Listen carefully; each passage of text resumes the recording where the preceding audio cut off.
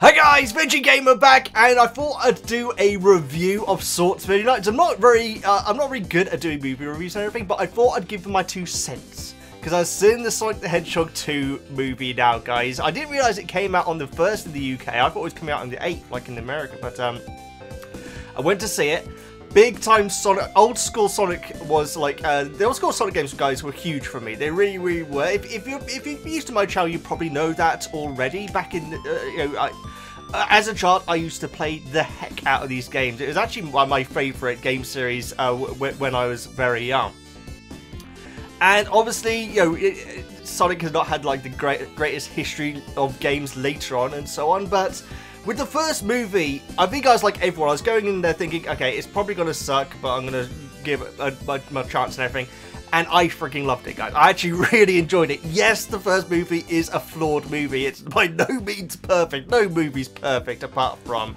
I know, I really enjoyed the last Harry Potter movie, guys. I really did. I, I, have recently done reactions to the Harry Potter movies on, on, on my channel, guys. I actually posted Deathly Hallows Part 2 this past Sunday that's an amazing movie. But yes, back on track though. The Sonic, the first Sonic movie um, is far from perfect, guys. But I, I came out of there really enjoying it, and I've watched it several times since, guys. It's a very innocent, just fun movie. Um, like I say, flawed in places, and in my opinion, Sonic the Hedgehog 2 fixes most of those flaws. I think that uh, for a lot of the flaws in, in the first one, uh, I, I was willing to forgive it a lot because it's a Sonic movie. Sonic looked great. They got his, they, they gave him this great childish personality which suited him so perfectly. And I'm delighted to say that that has carried over into the sequel as well. I thought that was like one of the smartest moves of of the first movie, where they made him a bit nuts, like he's, he's not completely there, and he's like this very very childish person. And that's kind of the storyline of Sonic 2, guys. The fact that he is this childish person, person, but he wants to be this this renowned hero and everything. Uh, so I'll go into my thoughts in a spoiler-free section first, and then after a while, I'll skip into the to the spoiler section. I'll give you a, a, a, good chance to switch it off if, if you're if you haven't seen the movie yet. But yes, let's go into my general thoughts. So, like I say, I feel like I ironed out a lot of the problems that was with the first one.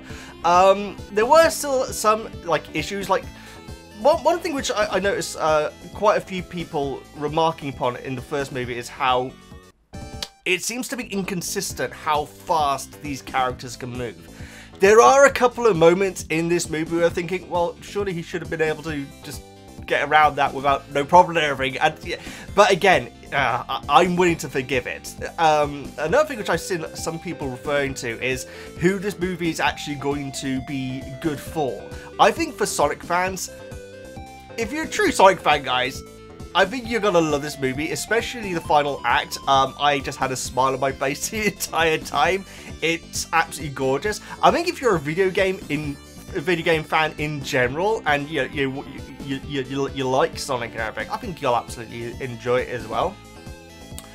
Um, I think the kids will absolutely love it because like they're adorable characters, very well animated and everything. The, the personality, the voice acting for these characters is absolutely brilliant as well. So I think the kids absolutely like it. So I think that if you're going into this movie and it's absolutely not for you, you're not going to like the movie, guys. If you're like an adult who doesn't like, you know, cartoony characters or video game storylines or storylines that don't have a lot of depth, I'm sure you're not going to have a hugely in-depth storyline for Sonic the Hedgehog. And so if you're buying a ticket hoping for, you know, Shawshank Redemption, you you may be disappointed. But if you're going into Sonic 2 expecting what, you know, expecting a Sonic movie, especially in that final act, guys, I can't see you not enjoying it, really. It's, again, not a perfect movie. There is, in fact, one scene, which we'll get into in the spoilers, where I was like, this is actually quite embarrassing to be sitting through watching. Um, but again, I forgave it though, and it wasn't that long a scene, but we'll go into it in, in the spoilers. And the silliness of the world uh, is bordering on pushing too far. One thing that I loved about Sonic 1 and Sonic 2 is that the human characters they're not just completely plain human characters. Like, say, the bar scene in the first movie. Um, like, the, the characters in that bar are really ridiculous characters. They're like, like the fact that the that the, that the barmaid doesn't realise that this that this this hedgehog wearing cowboy hat is not a human child and everything. I love that silliness, and in the sequel, the silliness does ramp up a bit much, particularly around, I think her name is Rachel. Um, I need to look these names up real quick. Yeah, Rachel. She gets her own, like, story arc in this one, guys, and it it's it's so so close to pushing pushing actually being annoyingly silly, but it it holds it just about holds it, guys. So uh, Rachel is uh, yeah Maddie's sister. Um, loving that Maddie got some more to do in this movie as well because in the first one, it was notable how how little she did. It, it, it, was almost like ridiculous how she she just seemed to be there, but she did extremely little. Uh, she gets a lot more involved in this one. We also have returning characters like Agent Stone. I, in my opinion, Agent Stone was possibly the greatest thing in the first one, and he's brilliant in the second one as well. We get Wade back as again. Wade's the uh, the other cop uh, who, uh, you know, Tom is the sheriff, and uh, Wade is like the deputy. And Wade is great. Again, it's bordering on being a bit. His character is incredibly dumb, where it's almost stupid but he has a hilarious line in it. I found it hilarious anyway. I think that I was the one who audibly laughed in the cinema when, when he said it, but uh, we'll get to that in the spoilers as well. But in general, guys, I think it was uh, an absolute treat, and I do think I prefer it more than the first one. There are things which I feel I had to forgive in like the first half of it, but second half I, just think it was brilliant. I really do. If you if if if you're willing to accept that, you know, it's a situation where there's these emeralds, there's a hedgehog trying to get it, there's a mad doctor trying to go over it, and the story isn't going to go too deep or anything, I think you're going to have a great time with this movie. I certainly did. Actually, talking about the human characters, that actually reminds me of something which I saw trending on Twitter. How um, apparently the, the first reviewers for uh, Sonic the Hedgehog 2 were saying that they that that that there wasn't enough of the human, the interesting human characters in it. That surprises me, guys, because there is more human. Uh, the, the human characters in it definitely get more time in this movie. Um, sure, the uh, the cartoon characters get more time, but like I say, Rachel and Maddie absolutely do have their moment to shine, particularly with Maddie, guys. I was saying it before, but it's so good that she actually got something to do in this movie. Tom is brilliant. I, again, I think that he was one of the best things about the, the, the sequel. Um, but he's great in this one as well. I guess in a way he might be in it slightly less than he was in the, yeah, because in the first one he absolutely was your second main character after Sonic. Obviously in this one, you add Tails and Knuckles to it, and obviously Tom is going to have to take a step back and everything, but to be expected, guys. And they they do it where the, the humans do have their own storylines going on, and then we pop back to Sonic and the gang and so on. So I absolutely think that they, they do have time to shine.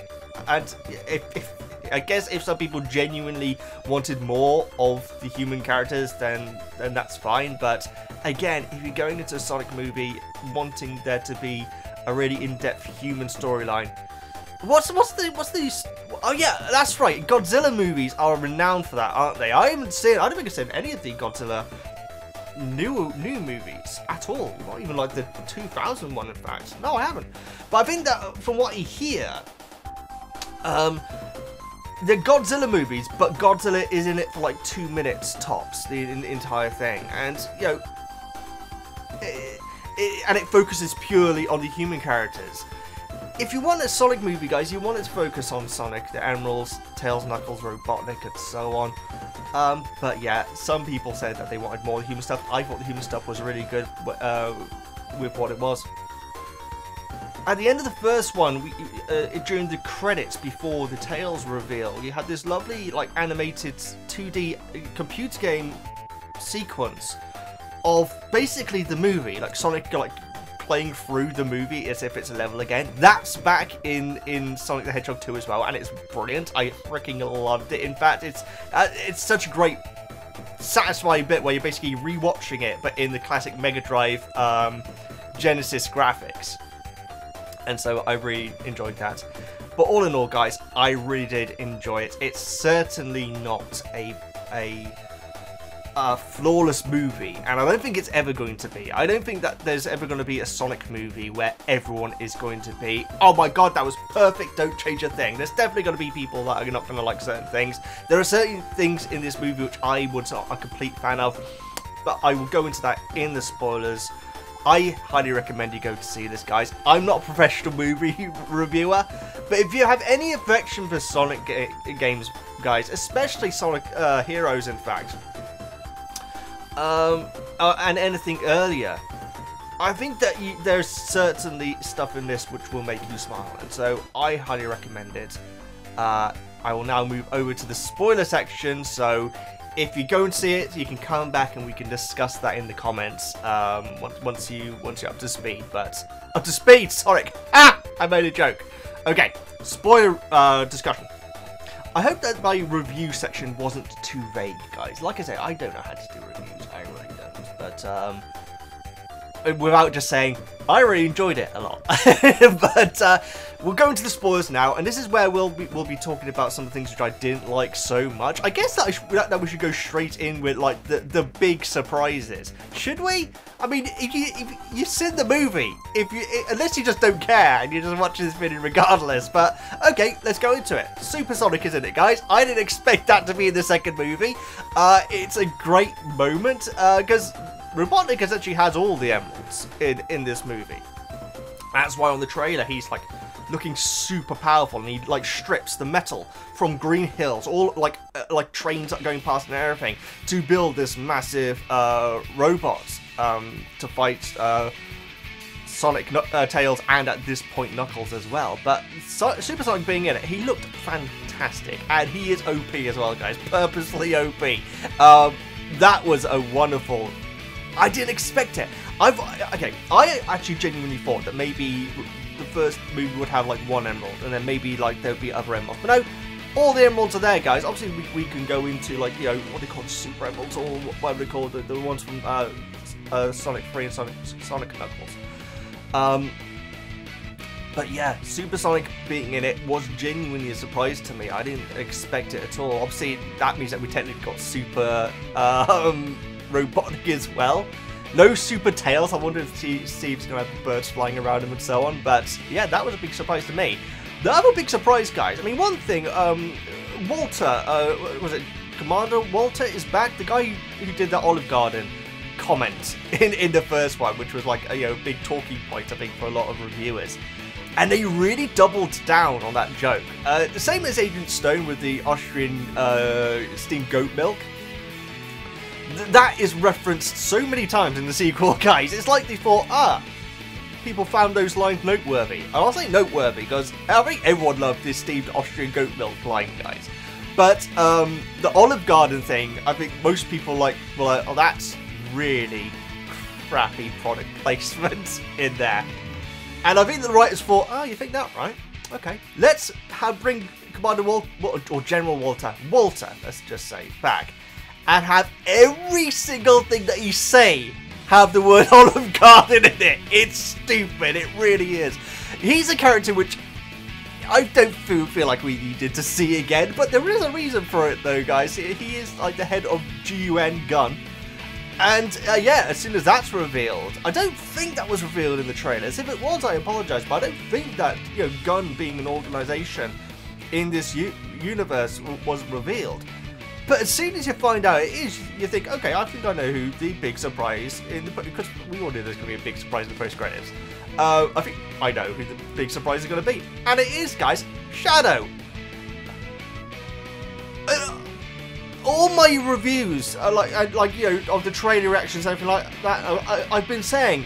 I know that a lot of people want Shadow in it, but you can't have Shadow coming in the second movie. No, Shadow has been confirmed, essentially confirmed for the next movie, guys. I didn't see that coming. Now, I know that... Oh, this is where people are... Okay, okay. If you're about to click off the video, I apologise for what I'm about to say, okay?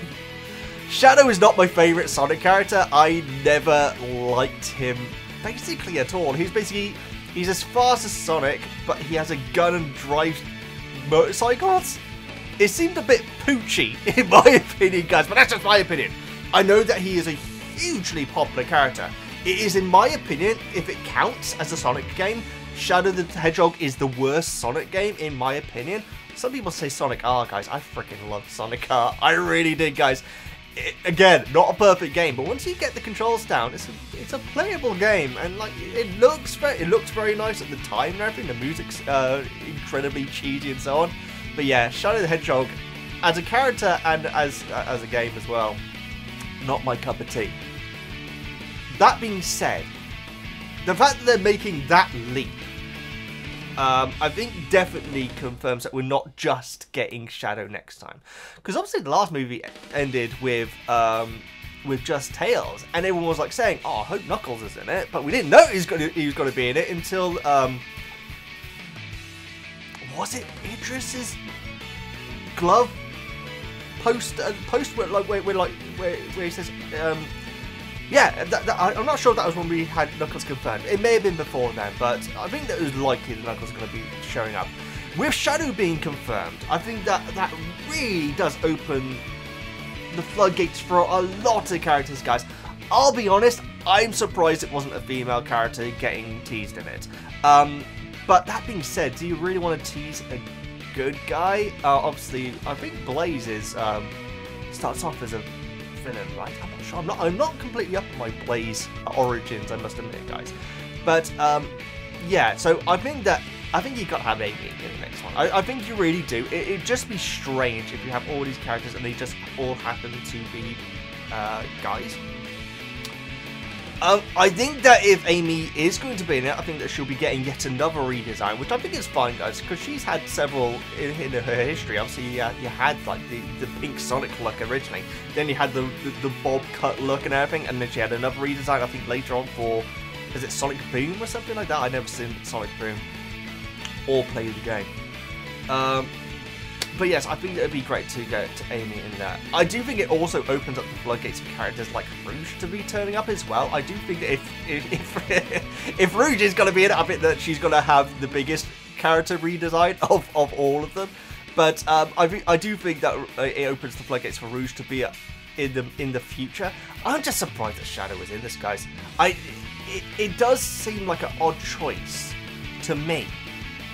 But if you're trying to get the you know the larger Sonic community into checking out these um, into these movies. I guess it makes sense because I know he is a hugely popular character. I've just ranted on about Shadow for way too long. Let's move on. I'm not going to allow this review to just be a list of the Easter eggs that I spotted, guys, but there are a lot of Easter eggs to be spotted. Essentially, Labyrinth Zone is in this movie, and I think that's really nice because I think it was actually Labyrinth Zone which had the owl logo in the in the bricks think it was, uh, in the original game. And that all comes obviously gets completely paid off with uh, Longclaw having this uh, th this backstory where her tribe used to fight the Echidnas, stopping them uh, getting the ultimate power of all the Chaos Emeralds. And later on, Sonic, uh, Knuckles, and Robotnik go to Labyrinth Zone, guys, and it looks great. You even have the water slide where, like, you know, Sonic's like like slide, flying down it uh, uncontrollably. That was a really nice reference. There are lots of references to be had. The Sonic Adve uh, uh, Adventure pose is uh, is in oh in that scene. We can talk about it now. The scene which I did like, the dance scene, guys. Sure, it's cute and everything, but it's what I didn't like about it is like you had Sonic and Tails not being able to uh, able to dance, um, and and then like you know they're like you know bumping into each other and tripping each other up and everything, and then I think it's Sonic or Tails like says, "Hey, I've got an idea," and then they're just able to dance really well. It it was incredibly cringy that dance sequence for me, guys. I maybe kids loved it, but for me it was yeah. That was a bit I was thinking, this, what the hell am I doing with my life? Sitting in the cinema watching this. That is in the um, Siberia uh, scene, which is essentially the bar scene from the first movie, guys, where uh, they turn up and like you know cause uh, a lot of ruckus and everything, and then it all gets sorted out by the end because they danced a lot. They were about to get thrown into a fire as well, which is interesting. But that scene for me, yeah, the dancing it was dumb, in my opinion. But the rest of the scene was pretty damn funny, actually, in this uh, Siberian bar. Like I say, uh, Agent Stone is back in this one, and he is brilliant, guys. I, I, I he is absolutely one of my favorite aspects of these movies. I think he's just so, so adorable. When Robotnik comes into the cafe and like he's like, "He's back," and he like really delighted and everything, and then Knuckles walks in and like Robotnik says something like about his how the latte could do with more mushrooms because he's had to be drinking on his mushrooms all the time and it shows Agent Stone's face, and he looks genuinely like he has tears in his eyes. He looks so broken, it's really sad. I love Agent Stone, guys. There's a very cheesy uh, Easter egg with him when they're in the big robot, uh, robot Robotnik at the end. And like he's able to like work out the controls and everything, and like Robotnik like says, "How? How did you do that?" And he says, "I read the manual." And he holds up this manual, and it looks exactly like a Mega Drive slash Genesis game manual, which is stupid. Again, the humor is really, it's it's not pulling any punches, guys. It really is dumb, but with Rachel as well, the whole Bridezilla thing, where like she's getting married and then she finds out that her husband is actually like a, a, a gun agent working undercover to basically get closer to, you know, Tom, Maddie, and, and, and indeed Sonic and everything. And she like goes driving around in this go golf cart chasing after him and everything. And it, like I say, it really is pushing it. It's almost it's almost insultingly stupid, quite frankly. But at the end, where like you know they talk it out and they end up kissing again, and like this plane, I guess the tornado essentially, but a plane flies past with like a banner saying Maddie and the the guy's name forever in in like slow motion. It's like okay, the movie is is clearly taking the mick out of itself, and so I've uh, she was great, and I'm glad that she did get more to do in this movie. One thing which I didn't expect at all actually is that we get Tails' backstory explained I think like in the original computer game manuals, I think, I, I, could be wrong guys, but I feel like in the Genesis Mega Drive gaming manual, it had an introduction of Tails. I think, I, I hope I'm getting this right. And it said how he was bullied uh, because he had these two tails, he was seen as a freak. Um, and there is like when they're in the Siberian bar, like you know, uh, like uh, someone calls them freaks, Sonic and Tails, and it shows Tails' face like look like really heartbroken. And I'm thinking, is that actually going to be a reference to that? It actually is because afterwards Tails goes into it. He says how he he didn't have any friends because he was basically ostracized because of the, because of you know, his his extra tail and everything. Love that they included that. They also included the fact that he's a fanboy for Sonic, which after the first movie wouldn't really make sense, but it explains it how when Sonic was running around the baseball field in the first one and made that Sonic boom happen, uh, it triggered something off in, in radars on Tails' home planet, and so he was able to tune in like to where Sonic's location was, and he's basically been watching it like a movie, and it shows like him at home, like watching Sonic like doing his thing, and just looking in awe of him. And so I love the fact that they were able to have Tails being this fanboy character, and he keeps on like saying, "Huh, only Sonic would do something like that, or only Sonic would think of something like that." I love the fact that Tails is such a fanboy. I love the fact they have um, Tails' voice actors from from the games reprising the role in in this. And I was worried going in, thinking, well, Knuckles is really going to be taking the shine off the fact that this is the first movie with Tails in. But no, Tails gets a lot to do in this movie, guys, and he's very, very in instrumental. There is one bit when he's knocked out, and like, um, and like Gun like captured him and everything.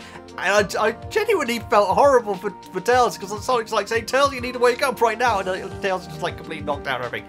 Tails is adorable in this movie, guys. He really is. Um, they did it brilliantly, in fact. Knuckles is another character who's done really excellently as well. He's very tribal, and everything that he says is about honor and like uh, and um, yeah, like like honor and things like that. It, it, which I thought was great. I don't know if that is particularly a thing in any other it's certainly not in any of the video games which I played, where he's like always talking about honor and justice yeah, and like dishonor and so on and so forth. Um, Idris was fantastic in, in, this role, guys, and by the end, he is a, a really lovable, goofy character as well. Because it's it's very nice actually how it, it like says how uh, Sonic is basically the one who, who who like says the tales. He's not a bad guy.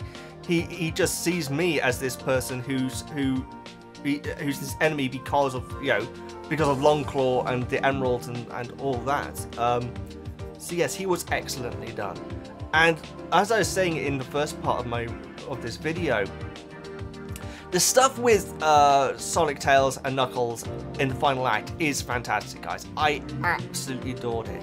And it actually explains what it gives Sonic a reason to be talking trash all the time. Because obviously in the, the, games and everything, he's always calling, uh, you know, um, and the and the cartoons and everything, he's always mocking Robotnik all the time and everything. And in the movie, actually explains why he's doing it. He actually he, said he says that the that um, Robotnik's weak point is Sonic, but it's the way that that how angry Robotnik gets around him, and so he says all this stuff just to wind Robotnik up, so he lets his guard down. And so that was a really, really nice explanation. Um, we also find out Robotnik's current plan, because like Sonic like says, what, what, what was what is your plan and everything, and he says that he that he wants to enslave humans to work as his machines. I love that, guys, because that's obviously a direct reference to the original games. I don't think in the later games, when you destroy a robot, a little creature comes out. But uh, obviously in the original ones, Robotnik's machines are powered by the creatures that he captures in, in the big tanks that you, that you release at the end of the levels. And when you think about it, that is an incredibly dark thing. It really is. And so, um, uh, loving the fact that that is now back on on the cards with Robotnik, and because I never, really, I thought that added added such an edge to Robotnik and the games, the fact that he is that cruel a person. Whereas in the later ones, he's just someone who's trying to do something evil and then he gets stopped. But the fact that he's actually done something evil already by capturing these creatures and incarcerating them to work as his machines, I think really was a big reason of why it was I mean, there was nothing like that back then in, in, in, video games, and so I thought it was ingenious, and it really gave Robotnik this terrifying edge to him. And I love the fact that they're bringing that back in the movies, because quite frankly, I think it should be in all the games as well. It probably is. There's probably some game later on, like Colors or something like that, where they did like something similar, but that was another nice reference to the old school games. Um, I guess I, I, I don't know what to do, guys. I, I I'm not a movie reviewer. This movie's probably this video's probably ran off way too long. Uh, like I say, if you if you're if you're very pinicky about things like um, you know Sonic not being able to being like ridiculously fast and then not being able to run fast at all, there are several moments in this, guys. Like I think there's one bit in the lab labyrinth zone where uh, Tails and and, uh, and Sonic are like, okay, let's get out of here, and they like turn around and like a door shuts. Whilst earlier on in the movie, like Sonic's able to slow down time down so much that he can literally just like you know walk around on these flying robots and everything because they're just basically static because he's moving so fast. Well, that wasn't the case consistently.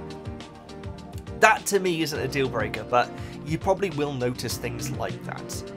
Um, and just a couple more notes, really. I said about Wade having the, probably the funniest line in the movie. You have this uh, Longclaw moment where, like, you, a hologram of Longclaw, uh, and Wade, Sonic, and, and Tails are there.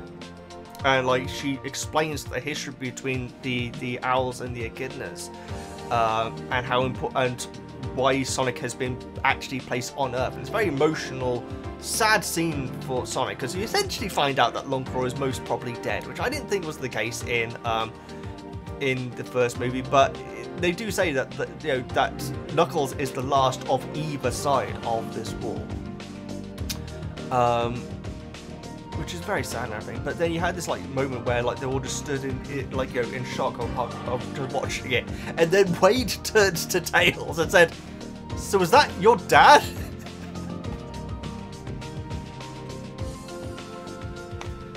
I thought that was the funniest line of the movie, guys. But yes, uh, that was amazing. There probably was more that I wanted to, to, discuss in this, but I honestly can't quite remember. So let me know what your favourite parts of the movie were, uh, if there's any bits which you didn't like. Um, the dancing for me was the only bit where I was like actually quite felt embarrassed watching it. Not only because it was the fact that they suddenly were able able to start dancing, but then it introduces the fact that Tails can multiply, not multiply himself, but make uh, holograms appear um, of himself. But they, they're able to physically interact with Sonic. I, that was a weird time to do that. But yeah, that that whole bit was questionable.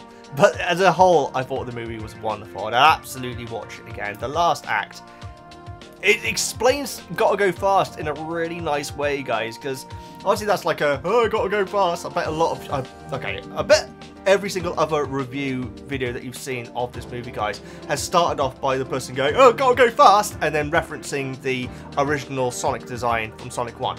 I guarantee you that that is going to be in every single review movie, uh, review video of this movie, guys. I refuse to do that. But in this movie, it explains gotta go fast, because obviously Sonic's not... We establish in this movie that he can't swim and you do have a horrible bit where, he's, where he very nearly drowns later on. But there is a bit where he has to run, I think it actually said hundreds of miles across the sea uh, to get to this island where, where Labyrinth Zone is hidden. Um, and like he's on the beach, like getting ready, and he says himself, gotta go fast. Because if he doesn't, he's gonna drown. And so I thought that was a really nice inclusion of that line. I really did. The humour is great in this movie, guys. I could go through more funny bits, like Knuckles saying, I am also a hologram. and, um, and Sonic's, um, I, uh, I guess distraction that he sets up when he like goes out to try and fight crime. He like leaves this like like robotic version of himself in in in the house. So if anyone comes in, he'll like say, "Hey, don't talk to me" and everything like that. It's hilarious as well. Very very funny movie. But yeah, all in all, I thoroughly enjoyed it. I this is such a I apologize, guys. If you got any feedback on how I can improve these sort of reviews, please please do let me know because I don't know how to do review videos, guys. I wanted to give you my two cents because it is Sonic. Sonic was a big part of my childhood, and I genuinely think this is a great movie with flaws, just like the first one. But in my opinion, it's better. I think that this is actually an improvement on the first movie. Please subscribe, all I guess up. I'm Veggie Gamer, and I'll see you next time.